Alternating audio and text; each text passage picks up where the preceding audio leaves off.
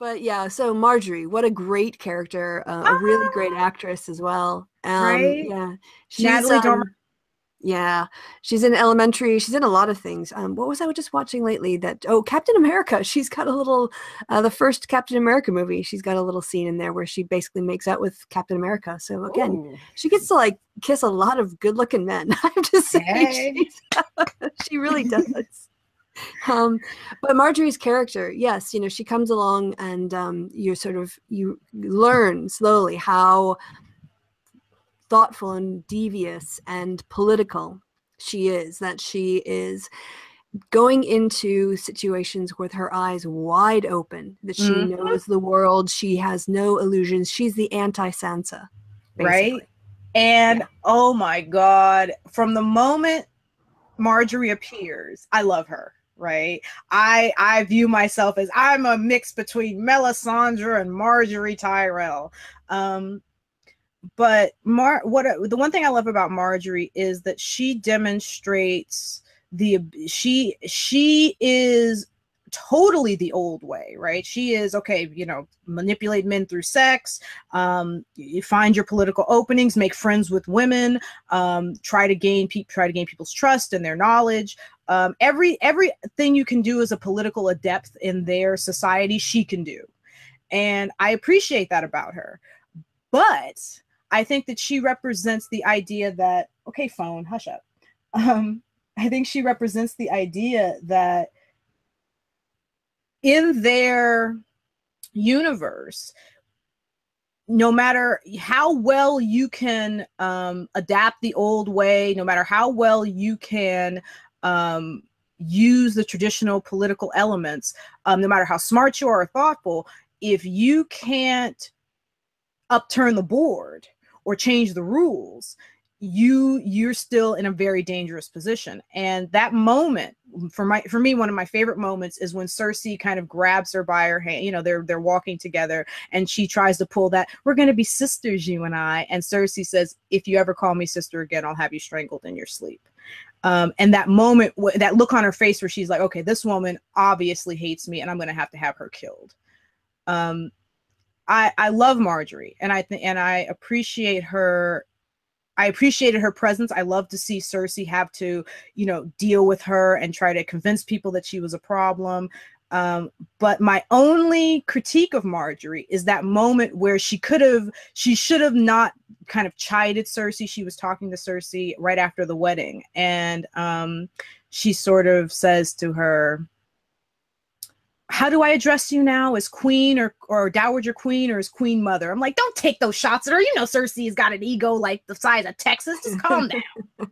you know, those I, I didn't like her prodding at Cersei because she knew Cersei was vicious and you don't prod at people like that. You try to you smile and you say how are you? and you could try to you know give them as much you know love and, and affection as possible but you don't fuck with them.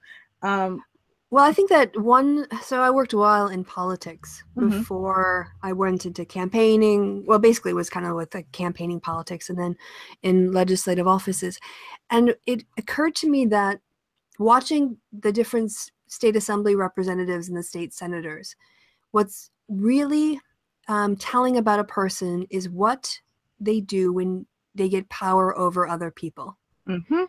And people who take advantage of that to you know um, mock others or you know make people do basic things for them that they could do for themselves i'm just thinking of the senators basically um, uh, because they can because you're Right. their employee and you can't say no um, or people who are gracious and still treat you like a human being you Mhm. know that says a lot about them is what they do with their power and i think in that moment margaery um, felt like she was in her power was in in the ascendancy and she was sitting in the catbird seat. And so she could afford to take those little pot shots because she had the power. And it was a very short-sighted you know lesson that she learned rather quickly. So right. And and i agree. I think that that's how you you can judge people.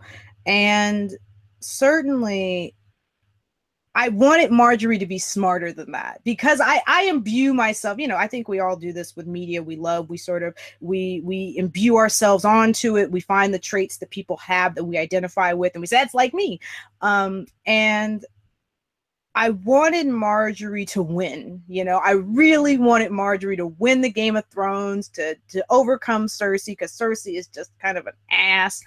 Um, but I felt like Margaery did play the game incredibly short sighted. She wasn't looking at the long term of, okay, this is your mother in law. You're going to have to find a way to live with her. Um, you're going to have to find a way to make her believe that you're not necessarily a threat because Cersei's all about those threats.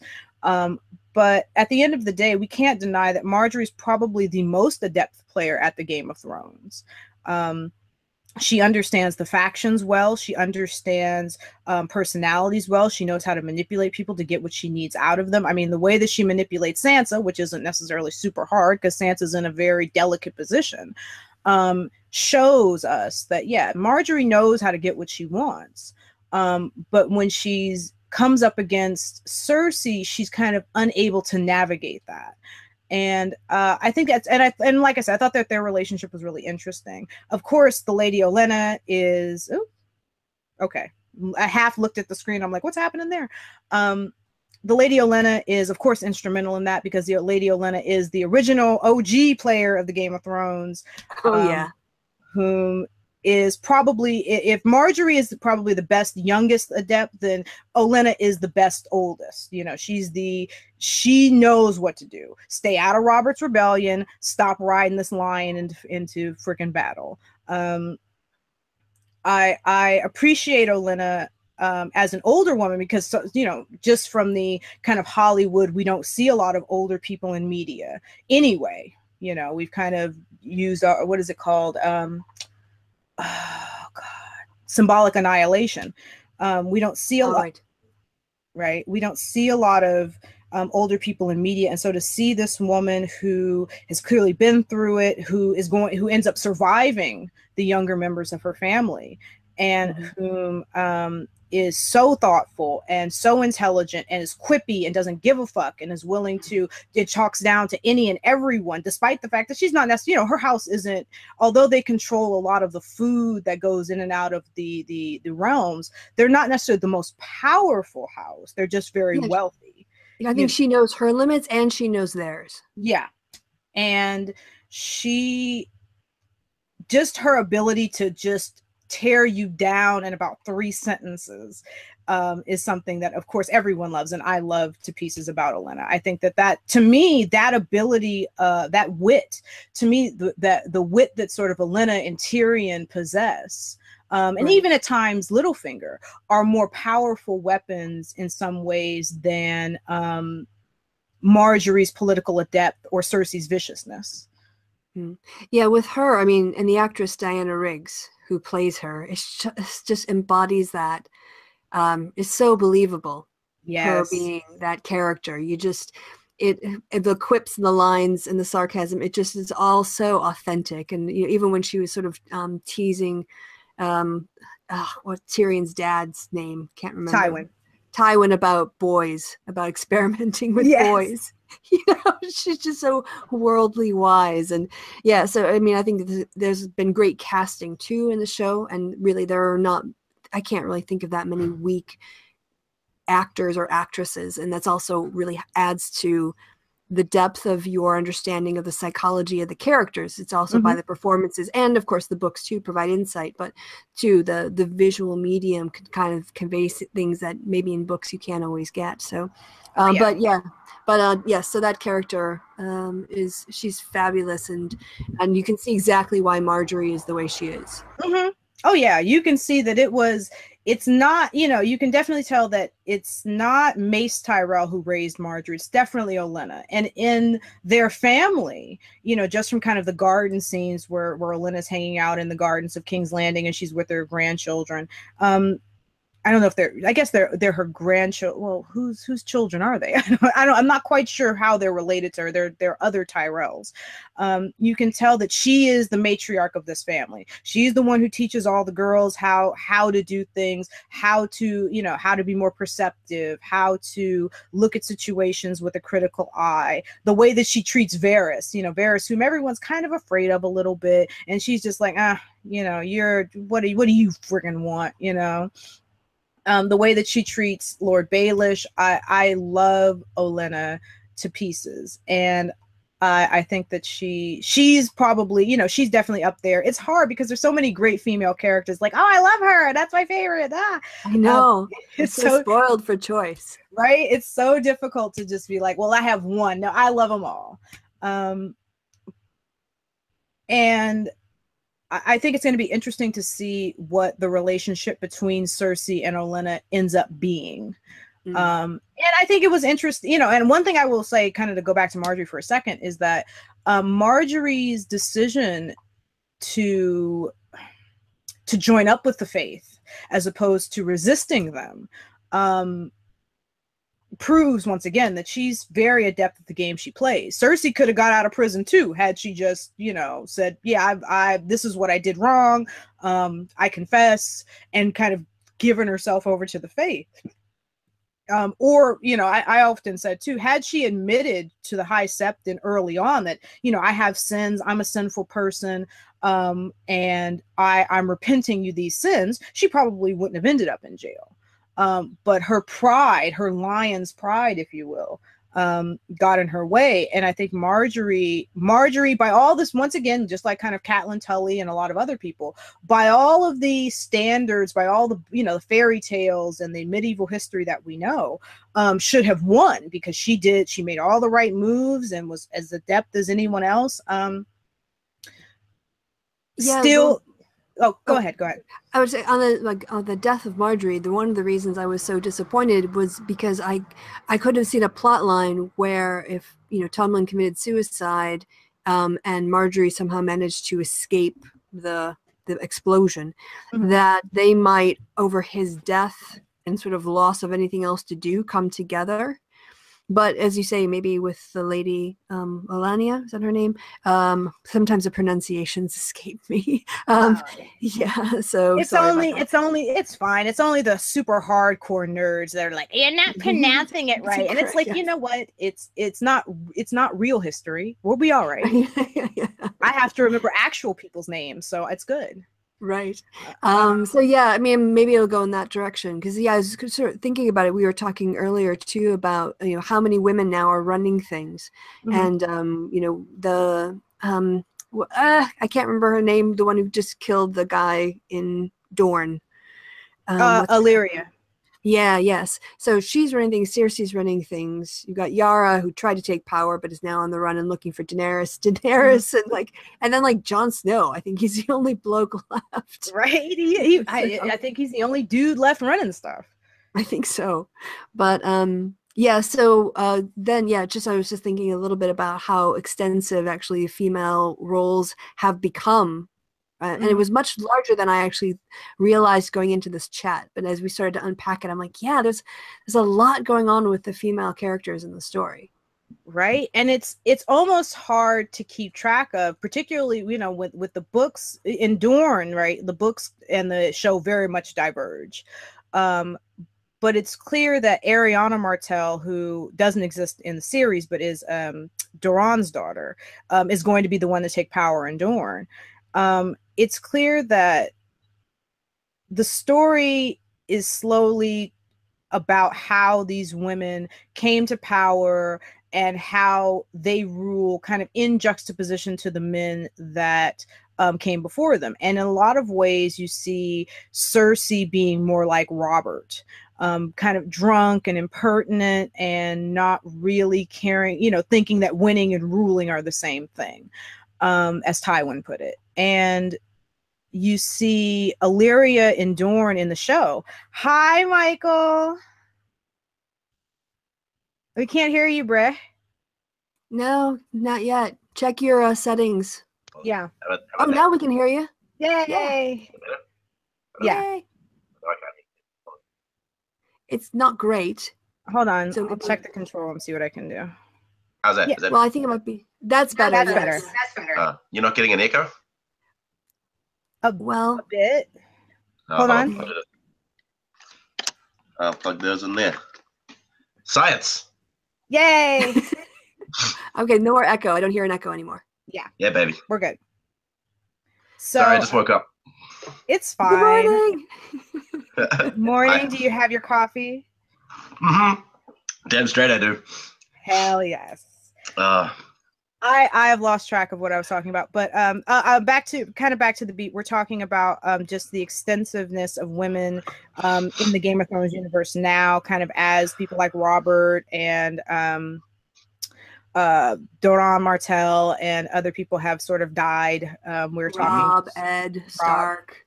Right? Like all I mean, the Starks mostly. all those basically all the Stark men. Um, uh, uh, we actually we forgot there is one young boy still in power. It's um Robin Arryn in the Vale. yeah. Oh right, yes, the puppet of Littlefinger. Mm-hmm. hmm Who was the puppet of his mother too? Um, Yes. Yeah. and I think that That's right. Okay. And then Jon Snow, and that's that's it really that I can think of. What about the Boltons? Who? The, the Boltons. Boltons. Oh, the Boltons. Well, is their house extinct now? Oh, what, what, what? At what time part are we talking about now? Because I We're I not. Well- remember, Michael's here now, so we're not allowed to talk about six. Um, Oh, okay. So we have to stop at the end of five. Right. So remind me what happened at the end of five, so I know where to stop. um, House Uh, Bolton. Uh, go ahead, Michael. oh shit! You know, I, I, uh, I know, I know that Cersei had like taken that walk of shame. Uh, Jon had been stabbed in the back.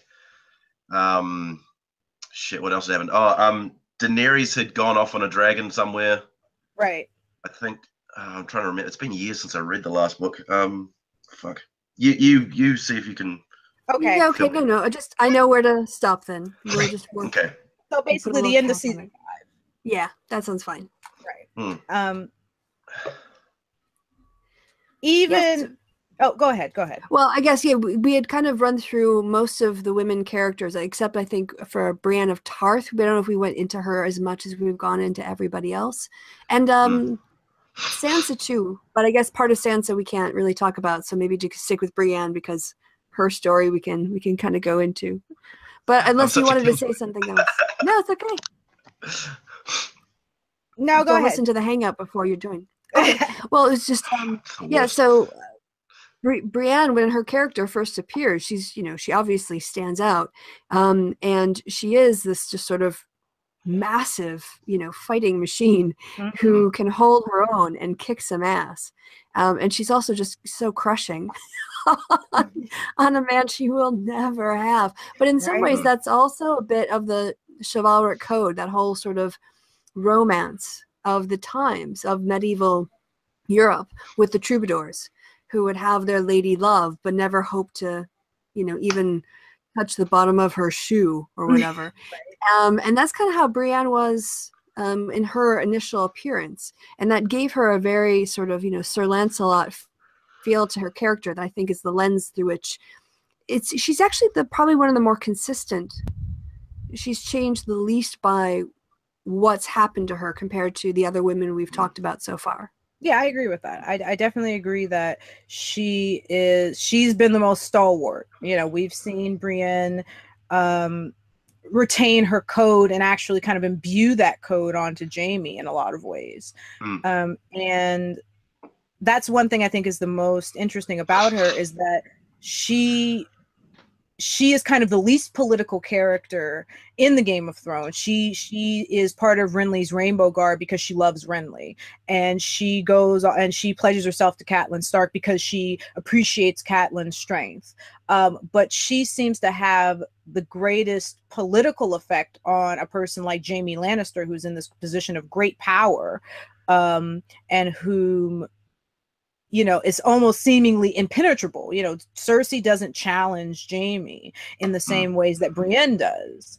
Um, and you can see kind of over the course of time how he responds to this challenge and how he rises to it. And I, I find it interesting that's that Brienne does have such an effect, even though she's not attempting to really play the Game of Thrones. She's just being herself.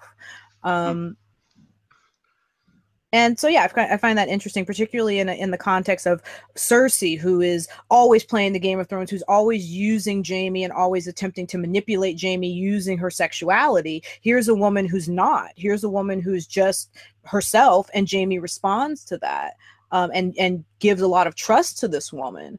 Um, who is, you know, just a is a fighter and who is always going to be a knight. You know, there's um again, I'm, I'm not going to say too much, but there's a scene where Brienne and Jaime part. And in the Mhm. Game of Thrones, they overlay that with Whitney Houston again singing "I Will Always Love You." you know, Are Brienne's you like serious? Do they seriously do that? Oh, is it? Is No, it a in the YouTube video? in the? Game of Thrones, it's a YouTube video. Yeah, in Oh, the Game the of of Thrones. I was thinking they couldn't be that cheesy on the fucking TV show. no, my no, God. no, no. But it's Um, do you think that? Do you think that um that that the the reason Jaime responds to that so um you know so readily uh might be because that's just not something he's not really encountered before being being always in that kind of you know he's he's he's always in that royal uh scene with always around the people that all have these you know that uh, they all have these kind of fake um, faces all the time, the way they have to act to each other because of the because of the different positions and all that sort of stuff. And then you've got Brienne who comes along uh, and doesn't. I mean, it's not that she doesn't um, respect that. Um, She's but- like Janice from accounting. She don't give a fuck. right? fuck. She doesn't have that mask on. yeah, well, that's right. I mean, I suppose because as well. Sorry, I, I was kind of. I'm just still kind of wrap my head around um, what was actually going on. But she was there. She was just dragging him back. That's right. So so she didn't give a fuck about you know him being you know the the the the brother uh, the brother of of Cersei or, or the son of of Ty- uh, Tywin or whatever. She didn't give Yeah. a crap about that stuff. So she was just doing her thing, and that might just be something that Jaime's not used to. You know. Oh, I agree. I agree. He's totally not used to uh, a person without a veneer, a person who's not out to use him in some way, uh, just a person who has a job and they're going to do that job. Yeah, yeah, yeah. And I, I think he appreciates that. And I think that he, you know, he likes those blondes, y'all. Um, yeah. she, she lives by a code that he understands. Well, a code that he's grown up with, but she's actually applying it in ways that he didn't apply it himself. Yeah. You know, so he, again, I think the positive influence is exactly right. I mean, he they have a, a kind of connection that's that's deeper than a, like a sexual relationship because it's it's having an impact on on sort of both of them. I think how she sees him um, changes over time as he learns from her. And obviously, you know, we, he went back uh, he- from okay. So when he helped her out, like you know this bit, Michael, What's that again? when uh when yeah. So anyway, yeah, I forget. I think that's earlier in the bear pit. Oh no, that uh, yeah, I've seen that. Yeah. Right. So at that point, he had already like had it. She had had a profound impact because he would have, I think, in any other situation, had it been a different captor, walked away. Yeah, he would Oh, yeah. he would have gone right. Yeah, totally. And and even earlier when he is I, I don't know i don't know i don't remember if this happens in the book i believe it does. Um when um they are first kind of captured by the boltons and they're sitting down in camp and he um is talking to um god i forget the guy's name and he says you know look uh you probably shouldn't rape her because she's you know the the the daughter of selwyn tarth and tarth has is where all the sapphires are mined I mean, if it had been nearly, if it had been Catelyn Tully, if it had been nearly any other woman, he would have been like, rape her. I ain't got time for this. Just get, yeah. just get me back to King's Landing. Um, but you can, we can see, um, that as as uh, Kristi just pointed out, we can see that she does, she has this profound impact on him, and I think he has a profound impact on her because I don't think that. Brienne, you know, Brienne kind of starts off the story as not really needing anyone and not wanting to lead anyone um, but slowly um, becomes comfortable with the idea of leading Jaime, of of leading him back toward this path of light, if you will. Um, And and these are obvious; these are values that Jaime definitely admires. Um, these are this is kind of something he goes into more in the books, and definitely in um, in when it comes to the show, uh, in sort of extra um, features that come on the DVDs or whatever. But it's clear that he valued, particularly when he became a knight, he valued the idea of you know protecting the weak and the innocent, and and that he really wanted to be a part of the King's Guard. He always wanted to be. Um, the sort of the the model chivalrous knight but because of who he was because of him killing the Mad King and having to take on um, all of those character and having to take on um, dealing with all of the things that people thought about him for killing the Mad King. He sort of, and because of kind of Cersei's influence, he sort of devolved into um, who he is when we meet him. And mm. Brienne's influence in a lot of ways reminds him, and I think this is definitely a lot clearer in the books, reminds him of the knights of old whom he admired, who made him part of the Kingsguard, whom whose values are ones that he always wanted to adopt. Mm, sure, sure. I um I found always found it quite interesting um the way that that George wrote um because when you first when you first meet Jaime in the books, you know you don't you don't have it from his perspective, right? You you just right. you just see him through Catelyn's eyes, um, and maybe Robb, and maybe Tyrion, maybe. So you see them from you see him from other other people's perspectives, right? You know, you hear yeah. about him beforehand. You um, uh, you know, when when the the um the Lannisters are coming to to to Winter Winterfell. I, have forgotten the damn names. when the right. Lannisters are coming, so um, You're not the so, only one. it's been like I say, it's been years since I've read the damn things, but they I I just I adore the books. They're great.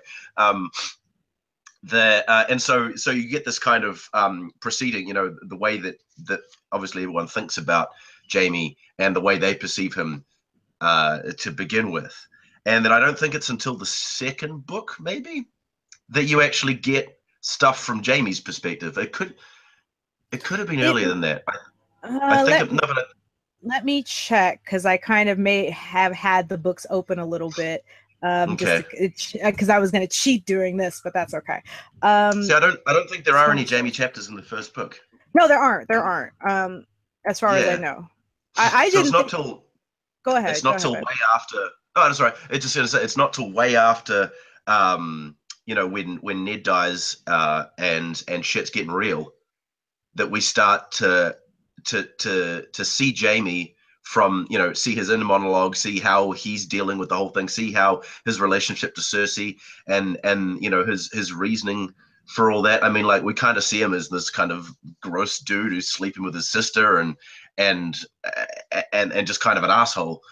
But then yeah. it kind of turns into what he actually does fucking love this woman, like really a lot. That's why he's and, and that's why he does some of the stuff that he did. That's why he pushed uh, Bran out of the window because he loves this woman so much that he would do anything for her, kind of thing, you know. Um, and uh, yeah, I, th- I I just I kind of appreciated that about um, I suppose more about the books, about the writing of it, that that mm. um, that you don't get. Uh, you know, he kind of holds off on letting you um, uh, you know, empathize with the character, and then suddenly he, he just switches it on a dime for you like that, and he does that with a couple of different characters. I know you, you know, you kind of just don't you you you you put them and you think and and then he doesn't do it with other ones you know like he, he, i don't think he ever does that with joffrey he never he never puts you in joffrey's head no. and allows you to to try and empathize with with him so i, I it's that's a, a, an interesting choice i suppose um we don't... He even does it with Cersei, of course, doesn't he? Yeah. Um, you know, and at some points, I even just kind of feel a little bit bad for her. It's, I, it's, I it's agree. Really, you know, we, we, yeah. Me and Kristi just had that discussion about Cersei as a as a sympathetic character and also kind of as an asshole. Um, yeah. Uh, but you I, can see how she's gotten to that place. That's the that's the right. thing. Initially, you initially you kind of don't because it's all just kind of this outside you, you're seeing stuff happen to her and then you get inside her head and you see the stuff that she's trying that she has to go through and the stuff that she's been through and then the stuff that happens to her you know when she's locked in that dungeon and she's you know she's having a bad time. You're just like oh man come on george what are you up to? You know? I i got you. And part of that yeah. for me is the relationship that she had. One thing that we don't ever really talk about either as the as when we talk about and when i say we i sort of mean um, people who do Game of Thrones videos or who kind of do the in depth analysis of Game of Thrones is that Robert was effectively raping Cersei. Cersei did yeah. not want to have sex with him, and he was forcing her to. Um, f- their relationship is one wrought with hurting each other and with not getting along and with arguing and fighting. And we sort of see you know we we sort of perceive it as oh look at this woman. She is insane. She's sleeping with her brother. She's cheating on her husband to sleep with her brother. You know he's the king. Um what's so bad about robert? He's just a bit drunk and when you when, when you get those chapters in the storm of swords because i think that's when we see both um, jaime and cersei's point of view chapters um, Mm. when you start to really get into cersei's head you realize that this woman has been abused by her husband. She's been you know sexually and physically abused by her husband. Um, she has been treated um, and and me and kristi were talking about this earlier she's been treated as basically a imperial breeder. Um, where you know she's sold to Robert Baratheon and then Mm. given away to the Tyrell, you know, and then later given away to the Tyrells. Um, she's treated as if she has no agency, even though she's a person of relative intelligence. Um, and you just see, you know, but in Storm of Swords and oh, did I pause? Okay. In Storm of Swords, and you know, later on, you really see how all of these things affect Cersei, and then to boot to be um, put into this, du- you know, put in the Sept dungeons, um, and to have all of your crimes sort of laid bare. Um, even though we could argue that she was almost justified in killing Robert. Mm. Um, Yeah, and and it didn't uh like because she was she was kind of it was supposed to be Lyanna Stark that was marrying Robert, right? And then that right. went south, and that's and then so Cersei was kind of pushed into that, right? Was that that's what happened? Um, yeah. o- Originally, too, she was supposed to marry Rhaegar, the the Mad King's son. yeah, Um, that plan fell through, um, partially because of the deteriorating relationship between Tywin and um, the Mad King, and so Yeah, because Cersei. Rhaegar was with with with Lyanna, right? Uh, no, no, because he was married to um, er, uh, what's her ass Martell. Remember, Where he's married.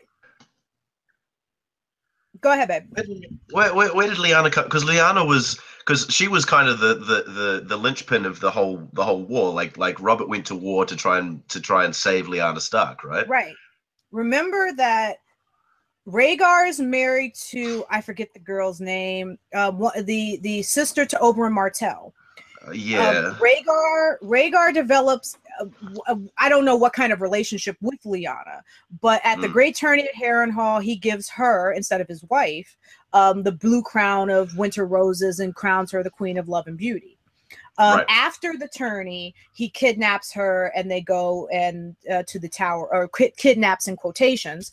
Um, and they go to the Tower of Joy, where um, Lyanna, you know, dies. And um, I don't want to spoil anything.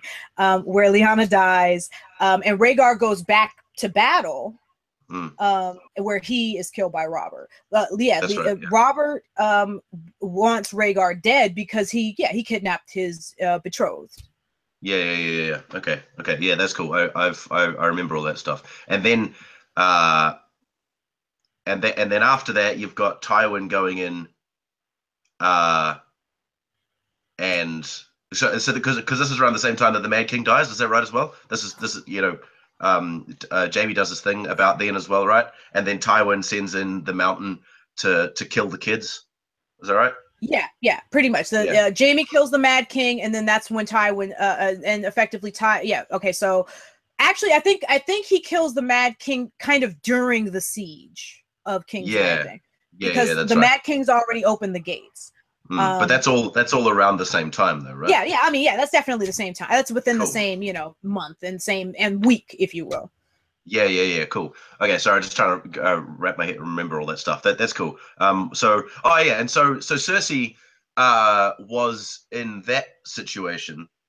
She was betrothed to who? Nobody. Nobody. And so, but then she was she, she was just like yeah. So she was kind of just offered up, right, as a as Yeah. a consolation prize. Yeah, and that's exactly and that's exactly what what Dr. Witter said that she's she's a, a consolation prize. Um, Yeah. yeah, Kristi's Basically, fine. it- Kristi's What's fine. that? Just Oh. Kristi is okay. Okay. It's nice. Oh, though.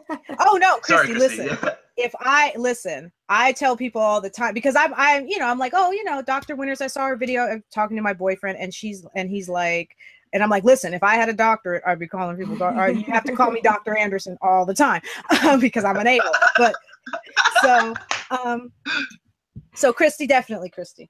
But Yeah. um, we, uh, but Cersei is yeah, she's just basically a prize, and she definitely resents that. She's not, you know, we and this is kind of reiterating what we were talking about earlier. She is a person who very much understands the gender roles of her society and does not agree with them. Um, Mm. Sure, sure, and um, and so she kind of, she kind of, uh, it within that framework, um, has to, she has to work within that framework, obviously, but Mhm. she she does her best to try and manipulate that framework so that she uh, is the one kind of doing things, right? Right, right. And she definitely um is working yeah, she's definitely working within um the the society to she's definitely working within the role society has given her um which is you're a woman so you rule through your children. You manipulate if you can't manipulate your husband to get the policy that you want put forth you manipulate your children. Mm, yeah, yeah, yeah, yeah. um Yeah, and and and her um sorry, just going back to her um consolation prizeness, and on top of that, I was just thinking, you know, Mhm. so she's she so she's got the the the bullshit of being a consolation prize, but on the other hand, of also not being wanted at all, you know. So Right. she's a she's a prize that is also not actually wanted or appreciated by this guy because he's in love with this other woman who's dead right and continues to be dead. Um, but he never. And then and then you get that great bit at the fucking um, you know, it, it kind of I suppose it's a bit of foreshadowing. Um, where when when they come to Winterfell, and the very first thing that Robert wants to do is go and visit her grave, right and, and Cersei's just like. Can we just got here? What are you up to? You know, for real so- can i can i like Mm. can i like settle in like come on Yeah. bro. and he's like, no, fuck that. I'm gonna go see her. You know, right and that, and that just speak and that what they've been they must have been together for ten years or something. 17 and, and he's yeah, and he's still hung up on this woman. So you can imagine just the the shit that that, that Cersei's been through because of that. You know? Oh yeah, and that's Yeah. that's to me part of the fun of of Cersei, and not not kind of you know the fun, not not making fun or anything like that, but the fun of exploring The complexity. right. The fun Mhm. of exploring her character is how you sort of think, oh, what a stuck up, you know, b i t c h. Um, I try not to call women bitches because I think that's demeaning. I'll call you a lot of other things, but I won't call you a bitch. Um, That's good. but I think that Cersei, you know, you sort of go, oh, this blonde haired woman, I can't freaking stand her. You know, she's just like all the other stuck up blondes I ever met. Um, but in reality, okay, I'm blowing up over here. But in reality, um, Cersei is a person who's gone through a lot, whose journey is probably comparable to Daenerys's journey, but um, seems to well, be, yeah, yeah, but but very. has taken it quite differently, you know. Mm, yeah, very much. Uh, Daenerys. Have you guys talked about Daenerys? Oh yeah, Yeah, but we can explore the kind of crossovers between t- characters. There's still more to discuss. Oh yeah, we've mm-hmm. got years of we got years and years of work to do here, guys. I mean, we we, we can friggin' you know analyze Game of Thrones until we're all like skeletons, and we'll just pass this on to our grandkids. Like, yes, grandbaby, you're gonna be doing this hangout, pass on the relay. Go for it. right? We'll have all of our kids here. Like, Yeah. oh look, guys, this is my new baby, you know. And Hold they, on, that's they gonna be awkward because that means I'm gonna have to be banging on camera. Um, you know. Well, just turn, just turn the cam off. All right. Turn it off. Keep- Don't go that way. Don't go that way. keep the sound on because we want to keep people entertained. Oh, Um, jeez. Um, yeah, Two minutes in heaven is better than um, one minute in heaven. That's Flight of the Conchords reference. I like that. Two minutes So- in heaven is better than one minute in heaven. Um, Excuse me for Yeah. a second, guys. Go for it. Um, so what what did you guys kind of discuss about uh Daenerys and and, and Cersei?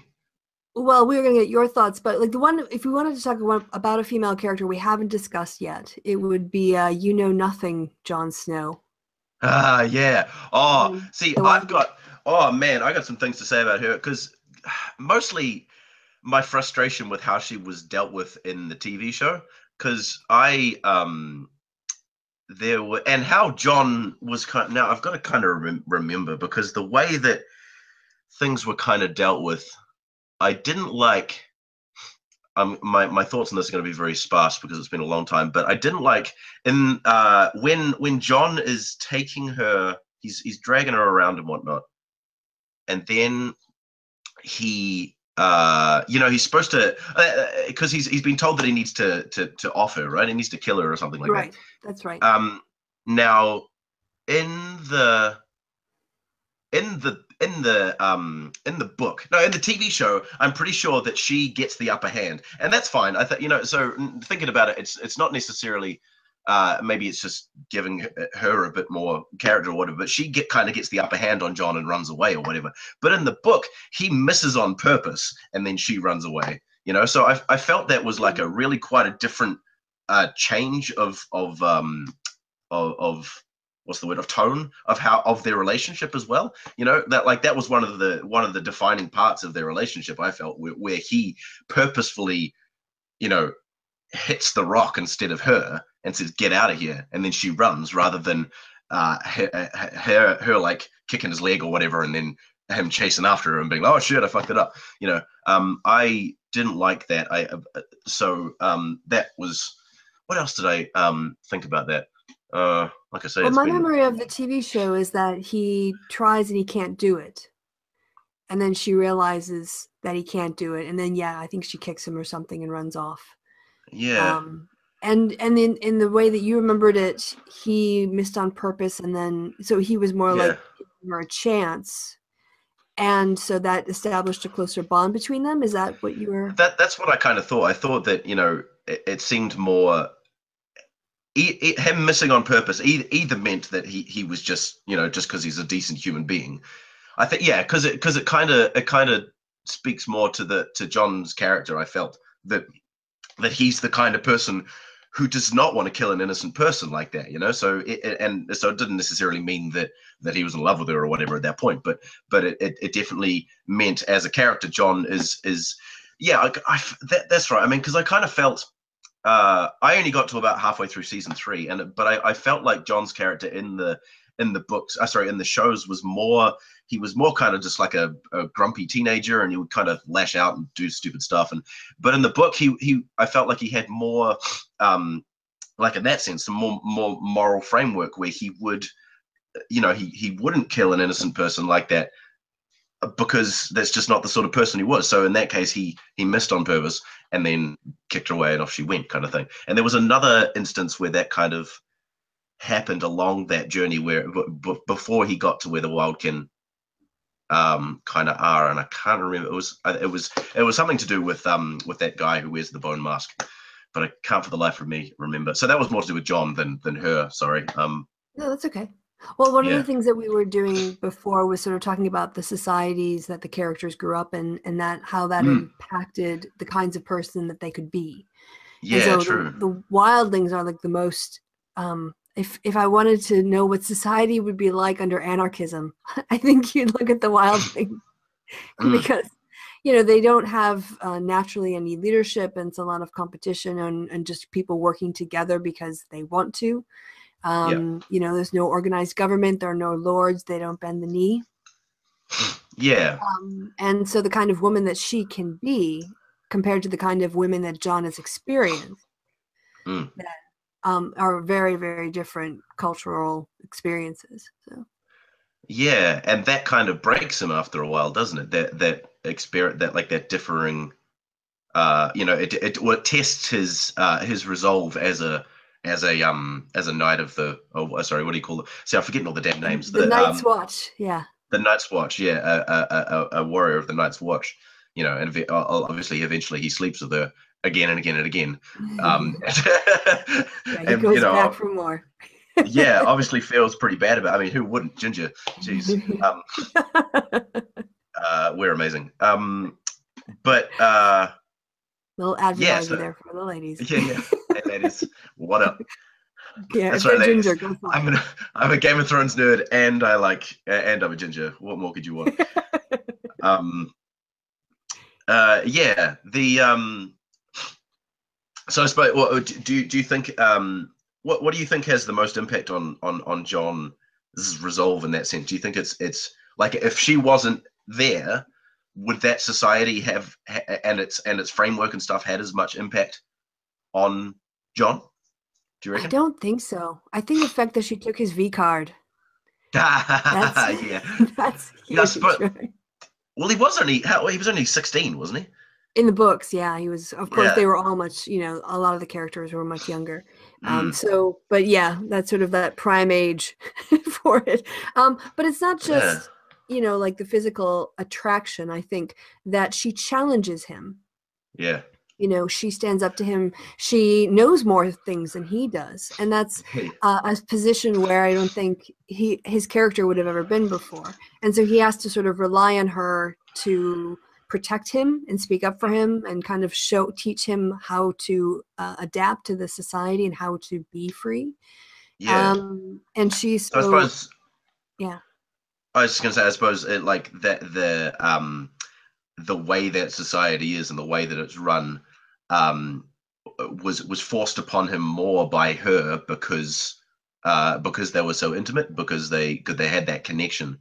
So he uh probably uh, one would be more open to to how it is because of because of his affection towards her, but also because um uh what was I gonna say? Something else. Yeah, just in a way that that like if he was just kind of living there, you know, um, that he wouldn't have kind of had if if it wasn't for this this um, you know having this this deeper connection with the person um, Right. that that kind of requires him to to to take on those ideals, I suppose, right? Right, because if you think about it, his integration into that society, if it had been only men that he was interacting with, it would only be like the kind of public sphere of their lives. But Yeah. because he had Ygritte, then he had someone who was saying, "Hey, you need to come home to me. You need to stay alive. You know, you need to not yeah. go. You know, you need to not betray me, or I'll cut your balls off." Mm. Um, and, and, I think also that betrayal of his, his of his vows as well is kind of important because you know that that that that distances him more from from where he's come from. I, I, I can't remember whether whether that's a you know whether- that's like a looming thing, like him thinking I can't go back to that now because I've broken my vows, so I need to. Is that is that like a thing or? I don't know. I mean, I guess I was sort of thinking of it more from a the story point of view that when he broke his vows to the Night's Watch, you know, he Mhm. was doing it to sort of um, a group of of allies and friends and fellow soldiers. But when he went back to the Night's Watch, he betrayed her. Yeah. Yeah, Not yeah, that's really the right. wildlings so much. I mean, obviously there was the, you know, he he got, you know, he did betray them too, but it was really that was the one that that made him feel the worst, I think. Mm, mm. Sorry, continue. I, I talked over. No, that was that was it. I just don't know where where Sweets went here. She's on oh, No, mute. that's all right. Well, we could talk. Uh, she she said, uh, "Give me a minute." She went off. Oh, Um, okay. We could talk about uh, Daenerys. I'd like to to. Uh, yeah, I was yeah. trying to think about the connection between her and and kind of Cersei's journey because so Daenerys uh, Daenerys has grown up with with her brother, who has always been. So so Oh, she's always just kind of been yeah. So she's kind of always just been subservient to to that all of her life, right? Right. um, and to when we first meet her. And so she's always kind of driven, j- just kind of pushed in different directions by all the men that are um, a, a part of her life, right? Right. Either her brother who basically planned to sell her off at some point or the people who were taking care of them who wanted to get something out of both of them when they if they ever got back into power. Mm. Which is kind of similar, like we were just saying, to to to Mhm. Cersei's kind of thing, right? Um, but I suppose, um, I suppose, like if you, you if you if you compare and contrast those two kind of things, like Cersei being pushed into this relationship um, at at that young age, and then being rejected for 17 years, and then Dany, on the other hand, being pushed into this relationship, and then kind of rising to the challenge and and and gaining that bond with Khal Drogo, and and and falling in love with him. hmm Uh, that kind of that, that difference of of of of how um how they kind of reacted to those those being put into those unwanted relationships, right? Because Dany was terrified by Khal Drogo, obviously. Um, Yes. Initially, yeah, definitely. Yeah, yeah, I think that's a interesting again, the kind of like a, a mirroring of two experiences. You know, how would it have been different if you, you- Mm. you change the conditions like a little bit of an experiment and you could kind of then play out the possible outcomes. And yeah, I mean her relationship with Khal Drogo was um unlike when, you know, Robert died. Um, you know, she well, Daenerys had lost everything, right? Her child and her husband and her um her Khal and just you know Yeah. she's left with a few people and but then of course these dragons um which are now Hmm. her children um and she's got then three dragons like cersei has three children so Yeah, true. another Yeah, it's interesting. Yeah, I'd, Mm. I'd kind of thought about it, uh, all of that, how, how they kind of go. And so then, so then uh, Daenerys kind of goes off and starts, because then she goes, is it from there she goes to the slavers' place? how uh, she so kinda- first they wander through the desert and they come to Qarth. Oh, that's right. That's right. They come to Qarth, and then there's that that guy. Uh, there's the guy, and then she gets betrayed by her uh, one of her handmaidens. Um, yeah, and the house of whatever it was Yeah, that whole thing. I've forgotten about that. Shit. and then she gets out of that and then she uh, Yeah. Does does she come out of that with more stuff though? Is that is that kind of a well thing? she's got her dragons back where are my dragons that's where Oh, that's right. But yeah, because there's the there's the whole um the warlock dude, right? Who, who Yeah. steals them away from her. Yeah. Okay. That's right. And then she has a drag. That's right. Because the dragons are kind of a bargaining pin for a whole lot of it, right? Like she right she she gets an army with those dragons, right? Yeah, she basically has to find you know from um, basically her brother to Khal Drogo to the dragons. She sort of has have these stepping stones of other sources of power to kind of Yeah. carry her along. She hasn't had it sort of in her own right at that point. You know, when she goes Yeah, into yeah. Get the, get, even getting the unsullied, as you say. And then she, uh, she finds uh, the big dude and um, and the, the, the, the white knight um, in that port side town. The um, you're talking about uh, the the um Sir, what's his name? Yeah, the the the the um, oh whatever his name. You know the one who who who was part of the King's Guard and comes. Yeah, the one who got thrown out by Joffrey. Yeah. See, hey, Sir I like that as well. Selmy. Yeah, here she's Barristan- back. Barristan Selmy, that's the name. Hey, um, I like that as well. I mean, you know, it's obviously the limitation of the media, but like in the um the style of media, sorry, you know, so in the book, you know, you, you're with these characters, the the the big guy, whatever you call him, um. I can't remember what they called him. He's a big bellied guy, and he's and, and there's him, and then there's Barristan Selmy, but you don't know him. He's like he's like a he's like a you know he's got a no one knows who he is. He's just like a an old guy who's good with a staff or whatever. Um, and it's revealed quite later on that it was actually Barristan Selmy. Oh, because uh, because someone else. Oh, because they, so, someone else recognizes him or whatever. Um, uh, Yeah, right, right. like He's going by something Whitebeard. Someone like that, yeah. And so there's this reveal later on, and you're just like, oh my god, you know. But obviously in the TV show, you can't do that because because uh, you know he's you see him, you know. and Right. So you're like, oh, it's that same guy, you know. Um, yeah. Well, I was just trying to piece together the rest of Daenerys's journey. Um, Uh, Yeah, we had gone to the Slavers Bay. Okay. And we're just looking at some of the parallels between her and Cersei, like the just or the contrast, actually, I should say. I would say one of the major contrasts, particularly in Slaver's Bay, is Daenerys's. When uh, I I know this happens in the show, and I'm not quite. I don't quite remember if this happens in the books or not. Um, she's having a council, and she talks to Jorah, and she says, "Why should anyone trust me to rule?" Just just asking herself basic question, just being able to analyze her own behavior and say, "Okay, mm, why sh- why do i deserve to be a queen right over these people why do i deserve to rule over them um, and Jorah responds well you're a targaryen you're the last targaryen you're the mother of dragons. And she goes uh i gotta be able to do more than that. Yeah. i can't just Mm. have these dragons and then people want me to fucking rule them. I've got to be able um i've got to be able right. I've got to be able to um to rule on my own where cersei's like uh, i'm a lannister. That's that's my claim to fame okay Mm. that's why i deserve to be on the throne i'm the firstborn child and i'm a lannister and i think that that just that self-awareness of uh, being able to be critical of oneself, you know, especially, you know, when we're talking about, especially here on YouTube where people are not very critical of themselves. Um, not saying y'all, but you, but we know the people who are out there who aren't very critical of themselves. Um, I am first generation fucking skeptic, and I.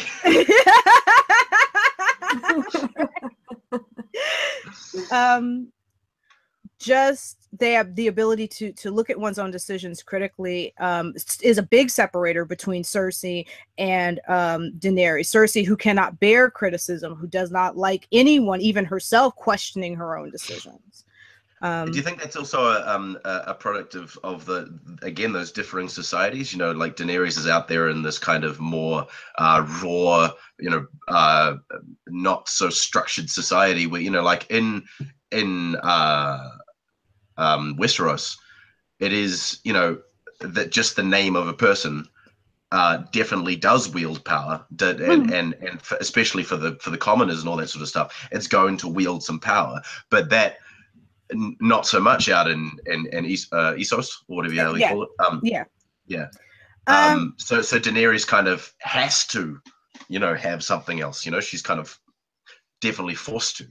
Well, I would argue that that Daenerys is ruling in a society that is definitely, uh, I would say, just as stratified, although different in a different way, because right. the the societies of Slavers Bay are stratified by slavery and by social class. I mean, it's not just slavery. Obviously, you know, poor people are not going to have the same privileges as wealthy people uh, because they don't have that sort of. Yeah, I mean, they actually do. They have this this sort of royal house, you know, of the blood mm. royal kind of um, society, and they certainly have a feudal society in that they they do identify by ancient houses, um, mm. and uh, but I would say that Daenerys, I think, is more critical because she has seen what happens to a person like Viserys, right? Who mm. Is a lot yeah. like Cersei is uncritical of his decisions, who thinks that he should rule because he is the heir of his father and doesn't have that sort of critical eye. Um, I think that yeah, uh, um, she she has learned from the people around her that if she's going to be a good ruler, she's got to be willing to look at her own decisions and assess them, as opposed to a person like Viserys who is just who is obviously losing his mind um, mm. Me and my boyfriend actually just had this discussion about um, kind of how responsible is the series for his actions, but we'll we'll have to save that for another discussion um, for you for all of us. But um, we I think that Daenerys has had a different experience, and certainly her different experience has led her to be a different kind of ruler. But I think mm. that Cersei um, even though you know you could argue Cersei's got way more life experience. She's 40. Daenerys is you know in her 20s in the show, and in you know, and, and I think that there she's more like 30. I think Cersei's more like 35, 36 in the books, and Daenerys is like 14, 15. Um, yeah. I think that regardless, Cersei, even though Cersei has all this life experience, she's still um, she she is so entrenched in kind of Westerosi politics and in her own mind and with the prophecies that she's received and all these other things that she hmm. is very uh, you know that that she is mired in all this and can't be critical of herself right because i think partially because she thinks hey i'm gonna die my my children are gonna die and um there's nothing i can do about it. And so she's yeah, not yeah. critical but I, I think that's part of it, right? Not the whole, not the whole kit and caboodle. Yeah.